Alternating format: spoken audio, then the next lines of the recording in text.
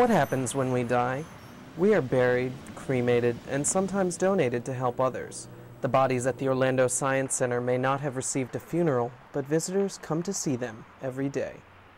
Our body, the universe within, may disturb some people, but the Science Center thinks many will find it fascinating. So, you know, there have been some negative comments, not, not a formal protest, not a great deal of negative comments. Uh, most of the feedback has been very positive, but there have been some people that feel it's inappropriate to uh, display a human body in this way. This skeleton is only one of more than 200 specimens from actual human bodies on display in the exhibit. The specimens are preserved through a process called polymer impregnation, where body fluids are replaced with a plastic that hardens to prevent decay. As you can see, this is an exhibit that really gets under your skin. They stand before us without their skin, muscles and organs exposed, more naked than any of us will ever be.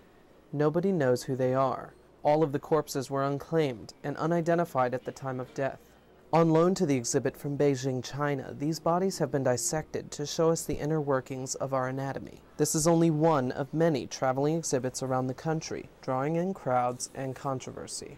Things grossed me out and I wasn't sure how I was going to be able to handle it. It wasn't that way at all. One figure holding up the skin on a coat hanger, yes, maybe that was a little bit disturbing. I can't imagine my family coming to a see an exhibit like this and say, oh, that used to be Carmen and look at her aorta.